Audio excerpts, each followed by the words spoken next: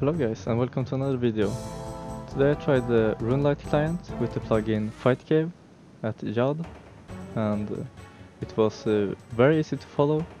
I will show you guys in the clip right now that uh, you get uh, notifications, you see down there in the right corner what you need to pray and uh, it was uh, easy to follow and very accurate. Yeah, thanks for watching and enjoy this clip of my scrubby kill.